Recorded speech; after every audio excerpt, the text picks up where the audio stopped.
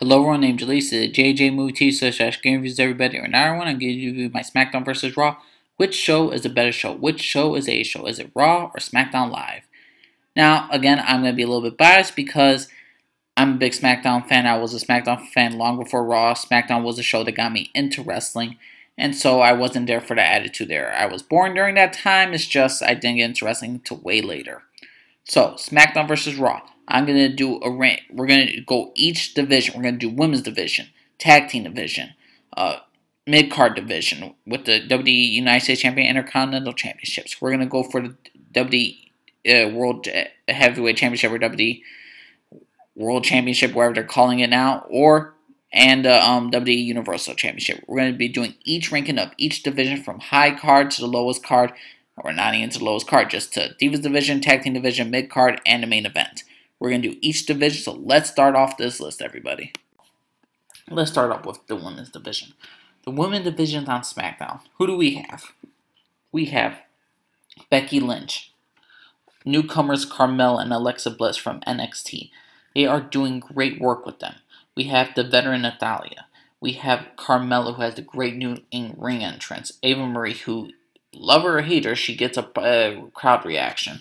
Granted, it's mostly hate, but she still gets reactions. She can't wrestle for nothing, but still. We also got veteran Nikki Bella, who could be in the company for a good a couple years. But SmackDown has built this Divas division. This is a great Divas division. Every single one of these women probably has a chance of winning the SmackDown Women's Championship. On Raw, who do you have? You have Charlotte, Sasha Banks, Bayley. That's pretty much it. Those are the only three they focus on to win the women's championship. They will never give a title shot to Alexa, uh, not Alexa Bliss, um, Alicia Fox. They will never get a title to uh, Alicia Fox. They're not going to give a title. Uh, they're not going to get the title to uh, um, Dana Brooke, who can't wrestle, and Nia Jax, who's been drafted to Raw, and she's they done shit with her. They learned squash match, squash match. It's ridiculous how what Raw has done. They're, they have focused so much on Sasha Banks, Charlotte, and freaking Bayley that they don't build the future stars. Of the, well, they're building the future stars of the company. It's just they're not doing it in the right way. They need more uh, power. And the fact is, they have an issue with Paige, and she has a neck surgery. Raw is lacking in their development. Who can we honestly see to take the belt away from Charlotte? And who can we honestly see besides Bayley and Sasha to feud with Charlotte? Or if Bayley, it's just gonna go the same thing over. If Bayley wins a title, then Charlotte's gonna uh, fight uh, freaking uh, Bayley. If Bayley wins a title, if Sasha wins a title, she fights Bayley or Charlotte. They're not gonna go to Dana Brooke. Maybe they'll have Dana Brooke fight once in a while, but it ain't gonna happen for the title. And she ain't gonna win. We already know the outcome. We already know the prediction. Nia Jax might have a shot, but uh, it's a really long list. Alicia Fox ain't wrestling. Rosa Mendes, Summer Rae, they ain't wrestling. They, well, they ain't gonna be title shot contenders at all. SmackDown, at least every single woman looks like they have a shot, except maybe not, not Dahlia, but still, every single one looks like they're having a great chance of winning the SmackDown Women's Championship. I mean, Alexa Bliss has done great work on the mic in the ring. Carmella has uh, tremendously improved. Nikki Bella, I really did not like her in the Bella Twins angle. And I didn't like her as overall character, but she's gotten a lot better in the ring. I like what she's doing. Natalya is a great in-ring performer. Great. Eva Marie, she draws a crowd. Either one of these characters could possibly, uh, possibly have a chance at the title. And the fact is that they're only focused on Charlotte, Sasha, and Becky for all three dang, uh, of the freaking episodes of Raw is ridiculous. I mean, SmackDown has built a Divas division. You could look at their entire Raw uh, Women's Division roster in a six-man pack challenge at WWE Backlash Every single woman stood out. They all had great moments, and there wasn't a, a quick elimination by far at the beginning. It lasted a good 10 12 minutes before there was an official one elimination in the six woman pack challenge. That is freaking amazing. SmackDown has built it already in one pay per view in less in one pay per view uh, less more than Raw, and they have done a lot more for their division by far. SmackDown is killing it with their Divas division. Okay, let's start it. now. After the women's division, let's see the tag team division. Raw tag team division. You got the New Day. You got the New Day. You got the New Day. New Day's gimmick is getting old and stale.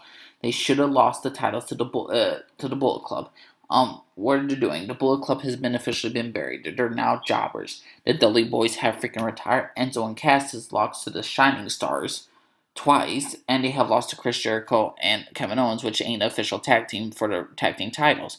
Um, Primo and Epico, the Shining Stars, I don't mind them, but the fact is that they had built them way too late and they should have won matches early on. Maybe won a match against a New Day. Do something uh, spectacular with this character. Instead of burying them for so freaking long, you should have built up these characters a lot more and these teams a lot more. What they have done for the tag team division has been crap.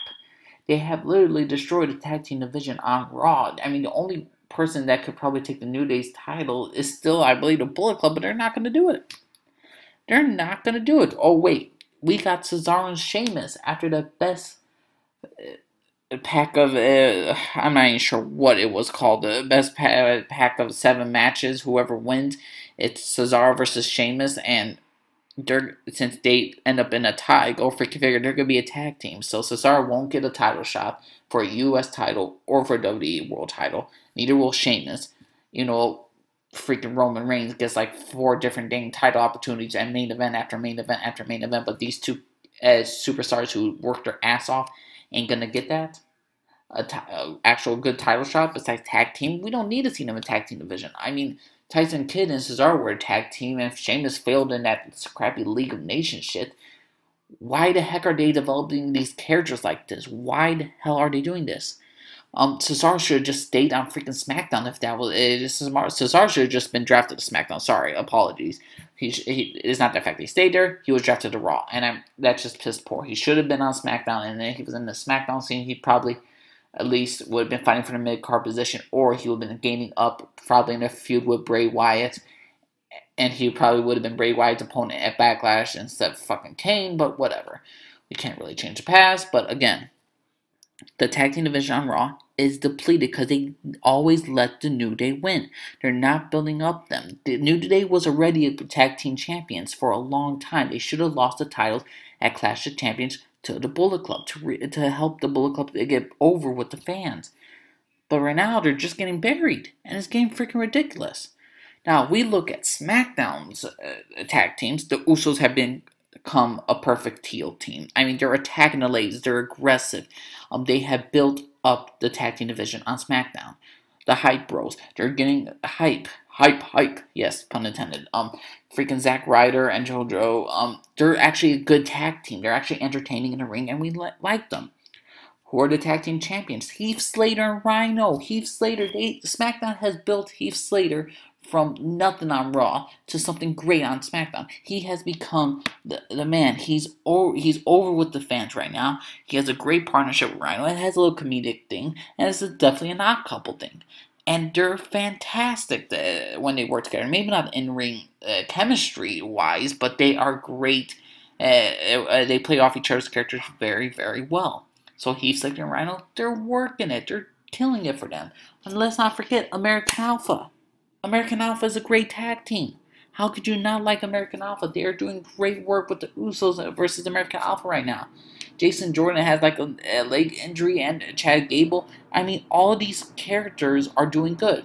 Granted, oh, and the Ascension won a tag team match. The Ascension won a tag team match. What else can I possibly say? I mean, the Ascension won a tag team match with the Usos.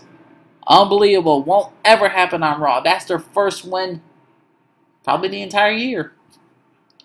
I say the only ones they haven't really developed good uh, is Tyler Breeze and Fandango, even though they had pretty dang solid matches that were pretty close in the SmackDown uh, tag teams uh, tag teams uh, tournament. They had a pretty dang good match with American Alpha, and I enjoyed them. I also like the Vaudevillains. I think the Vaudevillains should change face, but yes, out of all the tag teams they have on SmackDown, probably only one like a weak link, but they're still adding on to their characters and building them up. They're at least trying to help the, the people that they have buried. All the people that Raw has drafted or WWE has drafted from NXT to the, the company uh, to NXT to the main shows, they have done shit with them. They have buried the Vaudevillains. They have buried the Ascension. Tyler Breeze was something amazing in NXT, and they screwed him over, and now he's in a tag team with Fandango. Are you kidding me? I mean, SmackDown is building up this tag team, and it's freaking fantastic. I love it. I love what they're doing with the tag team on SmackDown. So yeah, SmackDown is whooping the Divas division. They're whooping the tag team division. Let's see what else uh, can they do. Now let's look at the mid cards for both Raw and SmackDown. Okay, let's look at Raw. They have the WWE United States Champion Roman Reigns. Do I need to go any further? Okay, Roman Reigns beat Rusev at Clash of Champions for the WWE United States Championship. They have been feuding for a while, and was it the right choice? Yes, because Roman Reigns needs to stay away from the main event scene against Kevin Owens and the WWE Championship. He needs to build. They need to build Roman Reigns' character up again, and they need to keep him far away from Kevin Owens and again the WWE Universal Championship. Now, Rusev, who do they have to to really battle Roman Reigns? Rusev is still going to feud for Roman Reigns one more dang time. He's probably going to lose again. But what happens after Rusev? Sami Zayn? Oh no, he's feuding with Chris Jericho right now. He still has to fight Chris Jericho. Who's going to be for the main event scene? Who's going to be for the mid card scene? I mean, Cesaro and Sheamus, no, they're not. What about the cruiserweights? Oh no, cruiserweights has their own division. Who have they built up for mid card status in WWE Raw? Who? Unless the rumors report that TNA TNA is being bought by WWE, and WWE takes the TNA stars and put them on Raw, that's the only way they can replenish their mid card and main event scenes for freaking uh, WWE Raw right now. I mean, they're not building none of the future stars, or they don't have a great mid card position. They don't have no one on the mid card. They put the and Sheamus as a tag team. Sami Zayn's feuding with Chris Jericho. Kevin Owens has Seth Rollins. Finn Balor's injured, or Finn Balor, however you want to call him. Who do they have for the main event scene? Triple H is going to come back to fight against uh, uh, freaking Seth Rollins? Who does Kevin Owens face against next? I'm, I'm trying to think about who they're uh, building up to be the future stars against these uh, competitors, against the two champions, the United States Champion and Universal Champion. Who's going to fight Roman Reigns or Kevin Owens? Will Roman Reigns fight Kevin Owens again for to combine the titles? Not combine the titles, but to champion versus champion United States Champion versus Kevin Owens, that's the only way I could possibly see it. I don't see no other ways. And don't forget, Sami Zayn and Kevin Owens were not drafted from different brands, so if anything, Sami Zayn and Kevin Owens will fight again for the million freaking time. Why the hell are they doing this? Why have they not built a WWE product and, and WWE Raw mid card? Why have they not developed a mid card really? Why stick to Shawn and Sheamus again? I know I'm saying this for the third freaking time, but why are they developing these characters? Why have they developed these characters outside of a position that could benefit them singly, not together? We don't need another attack team for that. You need to focus on the tag teams at Enzo and Cass. You need to fix up Big Cass and Enzo in the Bullet Club first. Put Cesaro and Sheamus into the mid card and into the main event. But Cesaro against freaking Kevin Owens and but Sheamus versus Roman Reigns. You got a heel right there versus a face, a heel versus a face right there.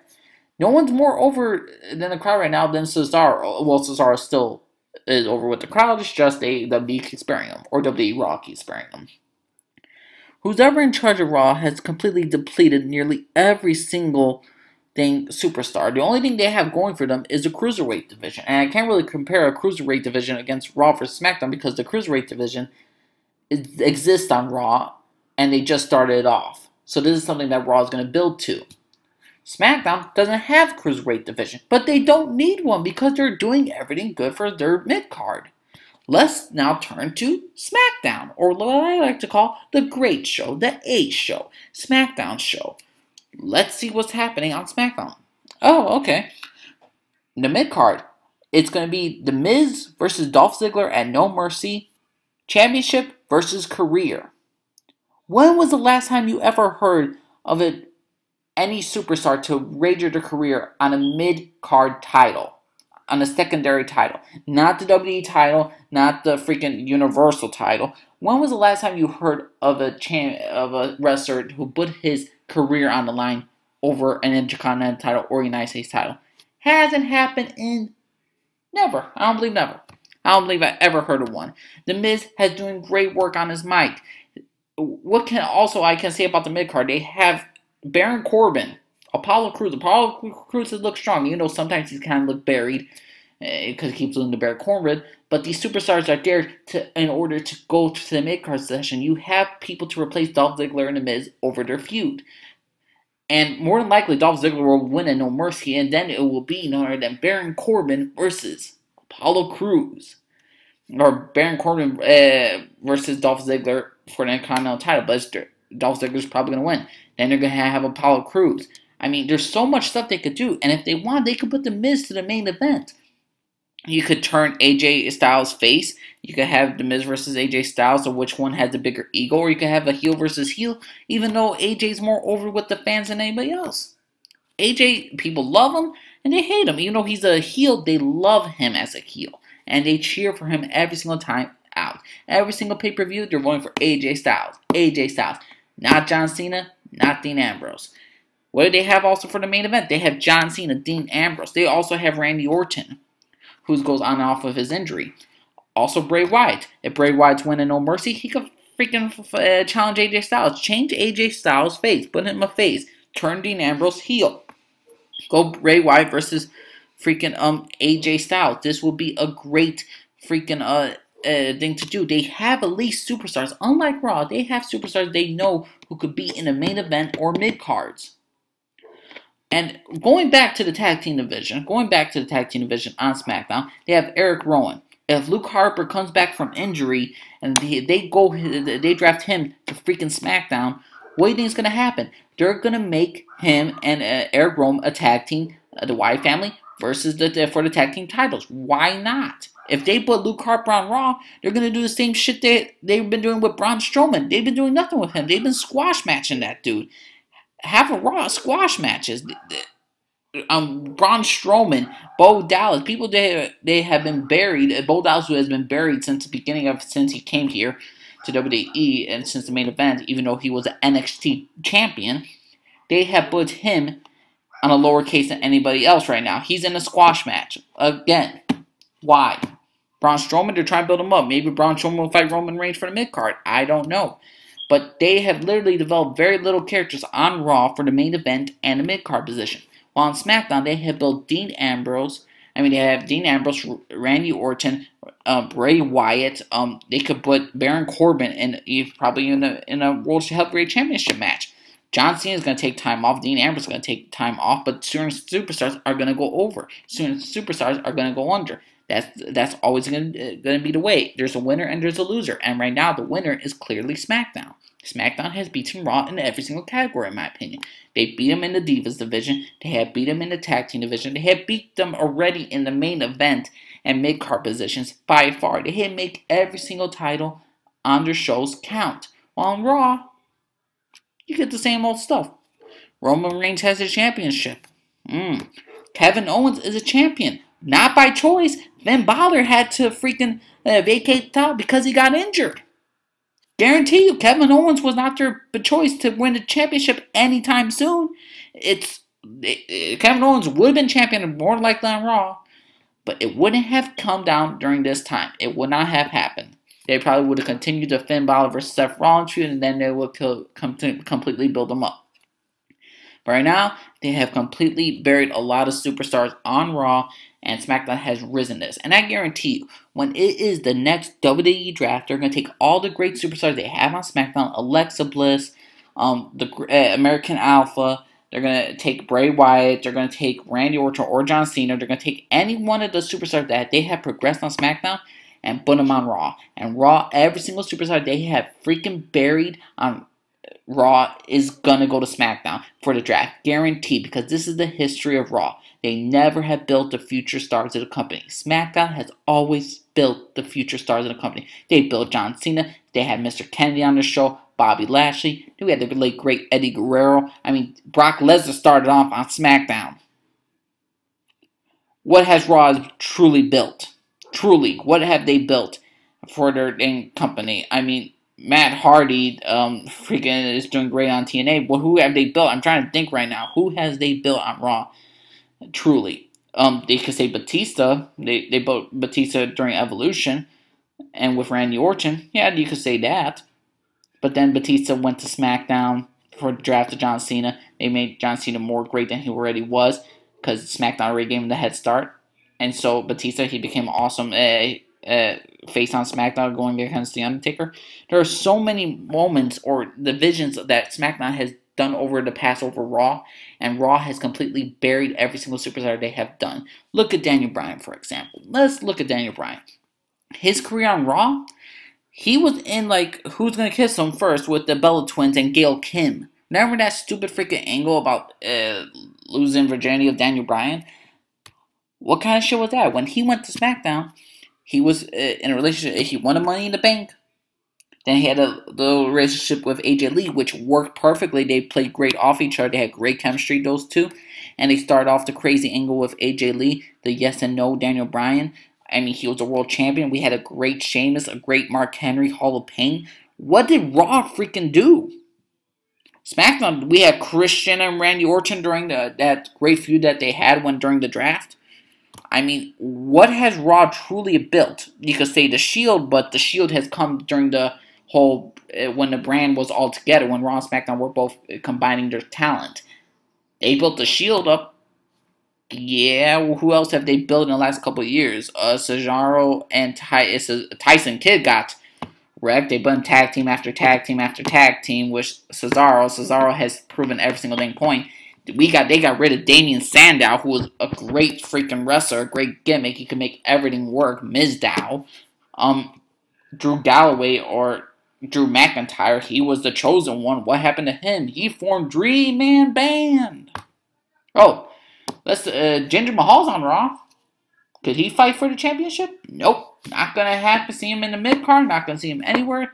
To me, he should just go to the cruiserweight uh, division. Uh, Jinder Mahal, I don't even know why they signed him back up. Why they picked him of all people to come back. Um, SmackDown. Uh, I mean, freak. What the heck has? I don't understand how people can honestly say that Raw is better than SmackDown. It's so obvious which one is the better brand. Throughout history, which one was the better brand? Which one has built future stars of the company? And in my personal opinion, SmackDown will always be the A show. SmackDown is the number one show of the WWE right now, not including NXT. NXT have looked up their stars. They're just great on NXT. Let's just clarify that. NXT is a great uh, thing show and for the superstars they have built to go to the main roster, SmackDown at least is trying to reinvent themselves. They're trying to rebuild these characters that Raw or WWE has put to to garbage. Raw, Bayley has was already in the main event scene, already lost uh, the WWE Championship match. I think she was in a squash match. Yes, there's like four different squash matches. One for Nia Jax, one for Braun Strowman, one from Bo- one for Bo Dallas, and one for uh freaking Bayley. It's getting absolutely ridiculous how many squash matches there are on Raw, and how little development they built these superstars.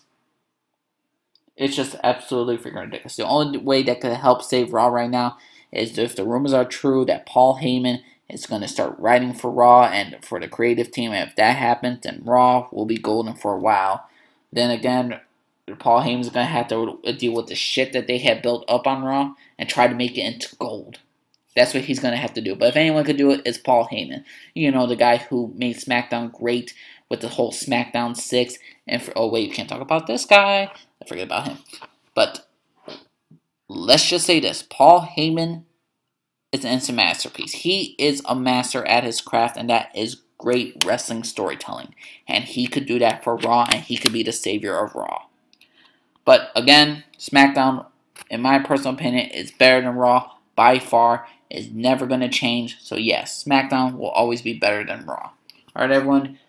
My name's Jalise. You could leave a comment down below. Let me know. Respect my opinion. I respect yours. And please leave logical comments. I mean, if you weren't going to just uh, argue with me just for the sake of arguing about things, words like you're stupid, you're an idiot, or so many thing, other thing offensive uh, comments you want to put down, go right freaking ahead. Go right freaking ahead.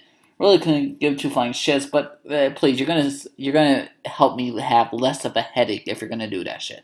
But again, SmackDown is better than Raw. There is no other explanation of what I need to explain more. I mean, SmackDown is better than Raw. Always has been, always will be. Maybe not the theme songs, but still. SmackDown is better than Raw. Alright, everyone, named Jalise signing off from you to everybody. Bye bye.